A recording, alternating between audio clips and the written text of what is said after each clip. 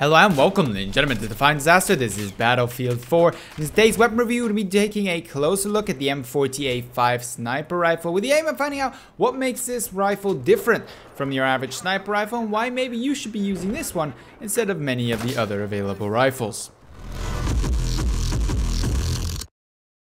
Before we get started with the stats of the M40A5, quick shout out to Battlefront Bros for suggesting this video.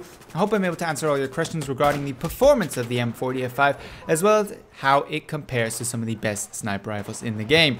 Starting off then with the stats, it has a standard damage model with a maximum damage of 100 and a minimum damage of 59, typical for a bolt action sniper rifle. What's noteworthy here, or the lack of anything noteworthy here, is that the damage model ends at 100 meters, not 150 meters, as some of the heavier hitting rifles do, which means it doesn't have that small advantage. It still, however, will do a one-shot kill at all distances, a vital and important part of every bolt action rifle.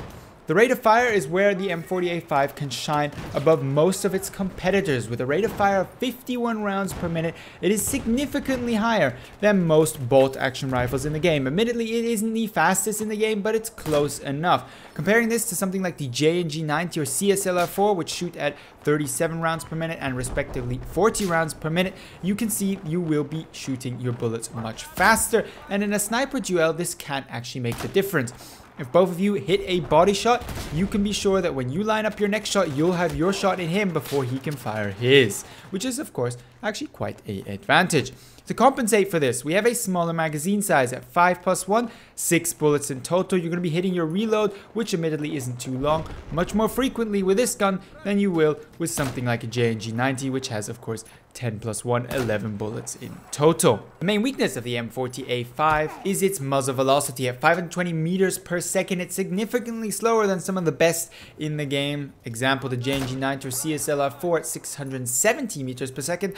What this means is 150 meters per second difference is that shooting targets at longer ranges, especially if they are moving, is going to be a lot more difficult with the M40A5 than with something like a CSLR4. It should however be noted it is not impossible and you're still not at the bottom of the muzzle velocities available in the game. Comparing this to something like the CS5 for example, which has a muzzle velocity of 400 meters per second.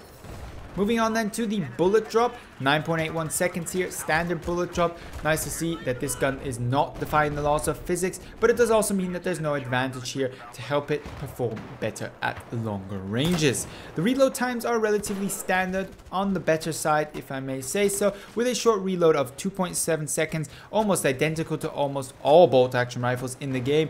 To just share two examples, the J&G 19 CS5 share the exact same short reload. It is slightly faster while only marginally on its long reload than most of the sniper rifles in the game at 4 seconds, meaning this gun is relatively quickly reloaded. It should however be noticed, you reload this gun almost twice as often as you would something like a JNG 90 given its much smaller magazine size. Last but not least, in case you were wondering, we have the accuracy of this gun. It is standard for a sniper rifle, means you have no advantages when moving with this sniper rifle over other sniper rifles. You're to have a standard 1.5 ADS. Hipfire is going to be terrible. Don't use it, obviously. And of course, a perfect accuracy when aiming down sight and standing still, assuming you're calculating for bullet drop. With that being said then, let's move on to the recommended attachments for this gun. Now the attachments I would recommend for this sniper rifle are no different than those I would usually recommend for any sniper rifle. Your standard preferred optic, if that is a 4 times optic, 3.4, 8 times, in my case it's usually the rifle scope 8 times, Usually try to stick to one or two optics, of course, to get used to them.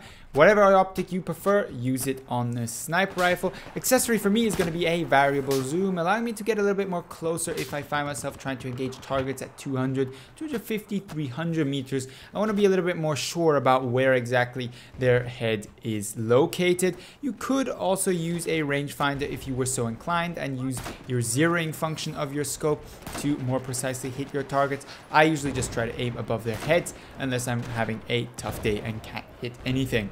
Moving on to barrel attachments, it's a sniper rifle. Unless you're trying to do a hip fire challenge in close quarter, you should be using nothing here as barrel attachment. No suppressor, no muzzle brake, no flash hider, just a naked standard barrel. Auxiliary, of course, we know as well, it's a straight pull. Sniper rifles are always the same, they're all equipped the same. There isn't really any exceptions unless maybe you're using one in close quarter, something like a CS5.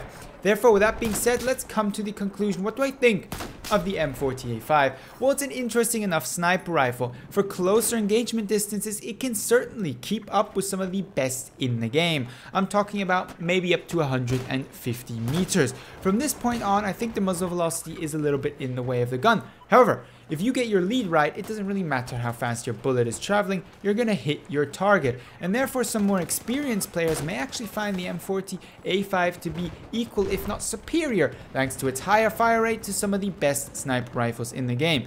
It should be noted however though, that this is a lot harder to use this sniper rifle at that level of effectiveness than it is something like a JNG 90 because it requires a lot of knowledge about how far you have to lead this gun given its slower muzzle velocity. So the conclusion, if you will, is solid sniper rifle, definitely worth trying out. You're gonna have a fun time using it, just be aware there is likely better out there for you to use. But with that being said though, I'd like to hear what you think about the M40A5 as well as my commentary and analysis. Have I missed a key strength of this gun or am I giving it too much credit because of its higher fire rate? Leave that down below in the comments as well as your future video suggestions as per usual though. At this point I'd like to thank you very much for watching and hope to see you in the next Battlefield 4 video.